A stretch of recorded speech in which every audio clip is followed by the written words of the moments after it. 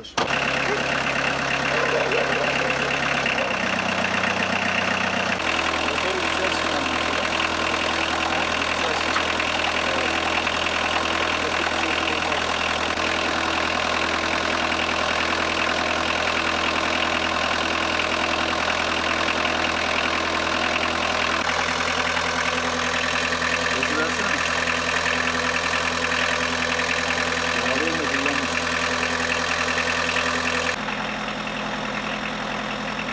Yes, yes, yes.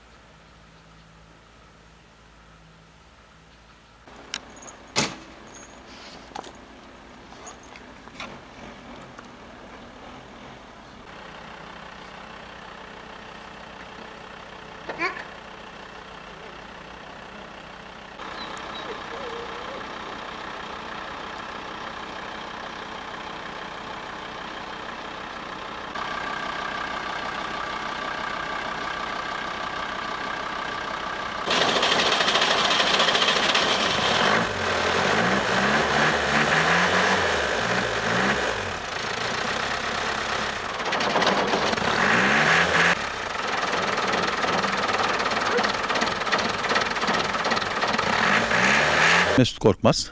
Ne iş yapıyorsunuz? Oto tamir üzerine çalışıyorum. Kaç yıldan beri bu iş yapıyorsunuz? 40 yıldır bu işi yapıyorum aşağı yukarı.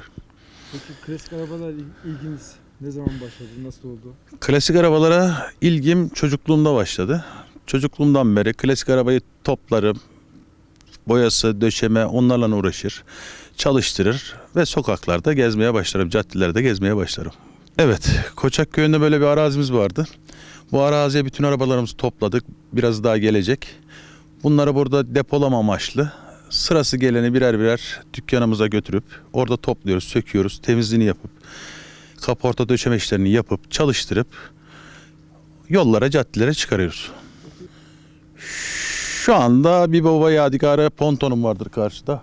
Mercedes onun aynısından. Onu toplamak sırada o var şu anda. 30 tane toplamışımdır. Peki ne var yedek parça vesaire gibi neler var? Hangi tip arabaların malzemelerini en çok topluyorsunuz? Amerikan, Alman grubu, e, İngiliz grubu çoğunlukta bunlar var elimizde. Eski 70 yıllarından aşağısı ve 70 yılları dahil olmak üzere. O tarihteki arabaların yedek parçaları ve öyle bir araçlar var elimizde.